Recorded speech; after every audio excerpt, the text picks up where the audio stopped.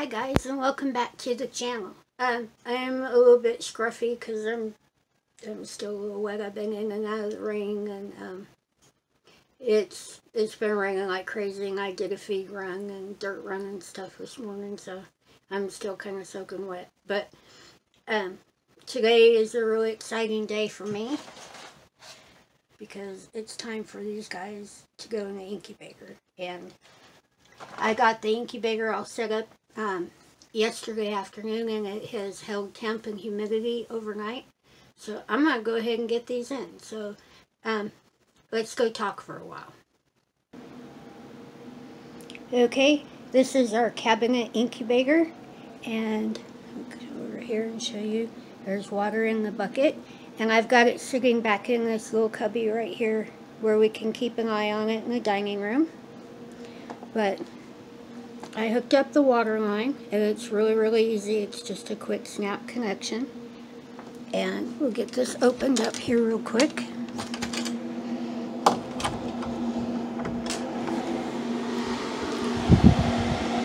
And if you look in there that's the water reservoir. And when this is up the water's off and then when it's down it'll add more water just automatically. It's a really easy to use float system. And there's the fans in the back and they blow across the water and that's what puts the humidity in. But the incubator is all clean and ready and the automatic turners are working really well. Um, so let's close this up.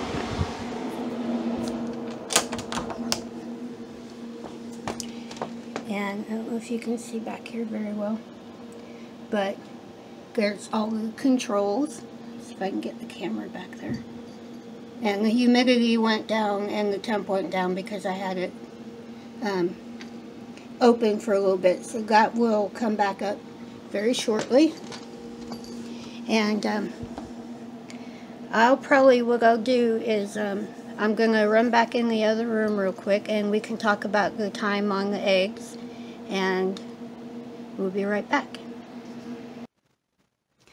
Okay, um, our cabinet incubator is absolutely wonderful and we've raised so so many critters in it but um, they are really easy to use and they take an awful lot of the guesswork out um, for for ducks you want the temp at 99.5 and you want 50% humidity until the last few days um, when you you take them out of the trays and lay them in the bottom and you stop moving them. Then you want to raise the humidity in there a little bit. And um, now I have duck eggs. Right now I've got nine of them and um, I still have two or three days left to collect eggs. They go in for 28 days and um, they can go as long as 32. So don't be surprised if you put duck eggs in and they're not exactly ready in 28 days. It could take them a few extra days.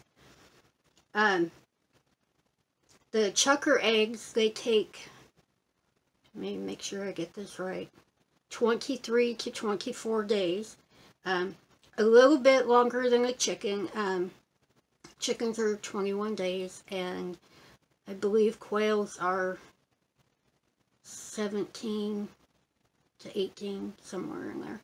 Um, the chukar eggs are 23 to 24 days, and they require 50% um, humidity until the last few days.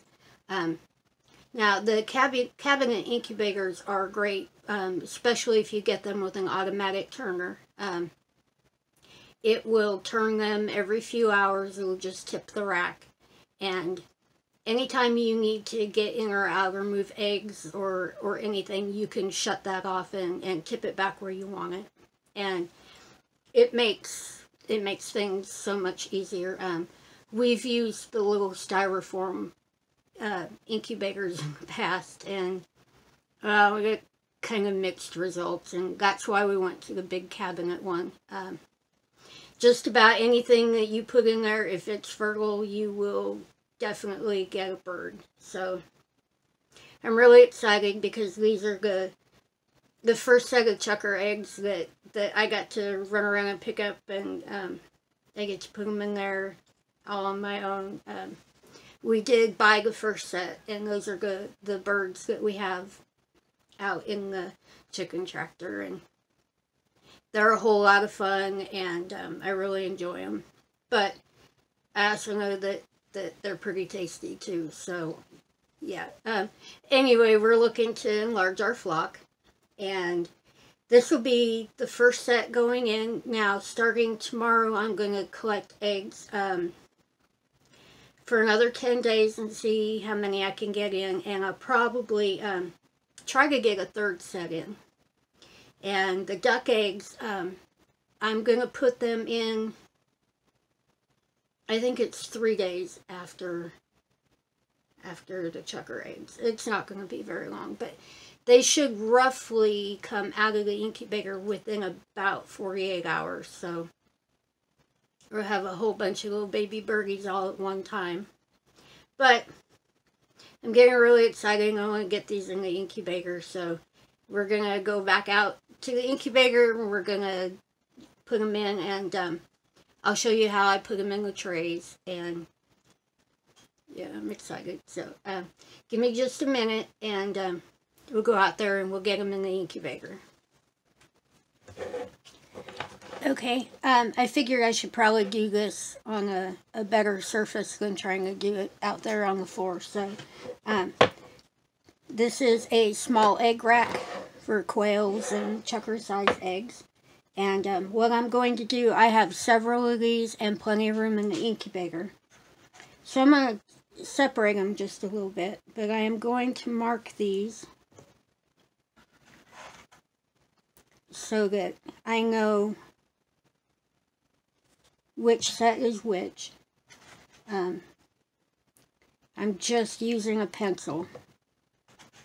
I've I've seen people use all kinds of things to to mark them. Um, I personally wouldn't use a permanent marker or an ink pen, so I'm just marking these so I know. And what I'm doing is I'm writing C1. So these will be my chukars and my first set in.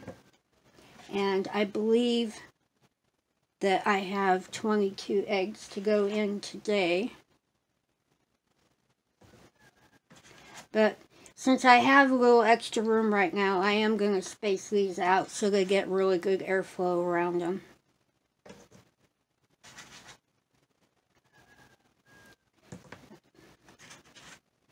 Probably need just a little bit more space.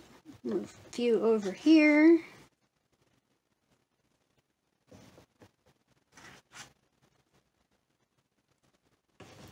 I know this is the kind of meticulous part, but I tend to like to make sure I know which eggs are which. And I keep everything wrote out on the calendar so I know exactly what day to take them take them down, when they went in, when I'm expecting them. We got two more. So we have, yep, we have 22.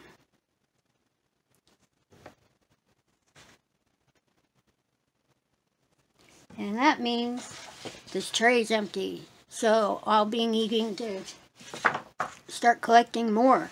So I've got these all marked and I've got them all all set where they get really good airflow through them. Um, if you have a large set of eggs, you can fill all of it up. It's, this is just what I would do as my own preference, just because I have the extra space right now. So, Let's go out and get them in the incubator. Okay, I got the automatic turner off and I leveled these back out.